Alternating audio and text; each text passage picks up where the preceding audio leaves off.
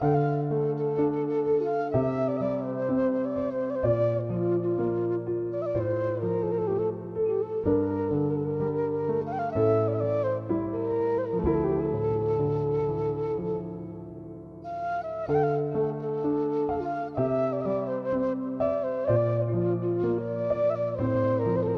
istri lahiran, suami cemas menanti gegara air ketuban pecah duluan.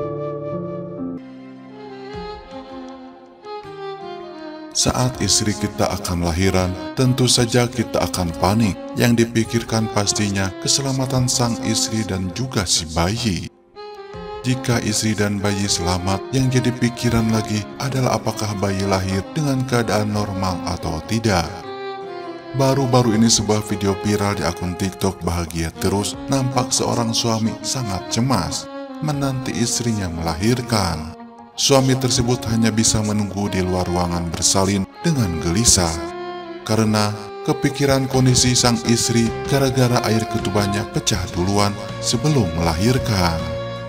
Hal inilah yang mungkin menjadi pikiran pria tersebut yang tampak memperlihatkan kegelisahan seorang suami di saat istrinya akan melahirkan.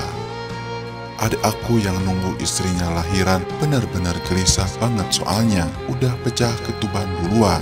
Tulis perekam video yang kemungkinan kakaknya. Saking paniknya, ia bahkan ditenangin oleh penjaga rumah sakit. Ia diminta untuk terus berdoa untuk keselamatan istri dan calon bayi. Suami tersebut mondar-mandir terus di depan pintu ruang bersalin istrinya. Hingga ada seorang petugas rumah sakit yang coba menenangkannya dan memberitahu bahwa tidak jadi masalah serius jika air ketuban pecah duluan sebelum melahirkan.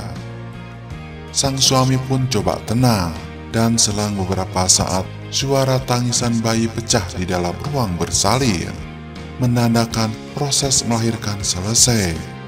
Tangis bahagia pun keluar dari mata suaminya yang sangat menanti proses kelahiran istrinya. Eh, kedengaran dong suara dedeknya, tulis dalam akun tersebut. Seketika suaminya tersebut menangis dan si mereka pun juga ikut menangis. Tak hanya mereka, netizen pun banyak yang terbawa suasana hingga menangis saat menonton video tersebut. Ya Allah, sampai nangis lihatnya karena aku sama suami belum dikasih kepercayaan. Semoga Allah segerakan waktu yang tepat untuk kami. Sumpah saya merinding dan mau menangis. Jadi keingat suamiku, cuma dia yang nemenin aku lahiran. Dia juga ikut bantuin dokter waktu aku lagi ngeden. Pas bayi udah keluar, dia berkaca-kaca. Ujar para netizen saling berkomentar.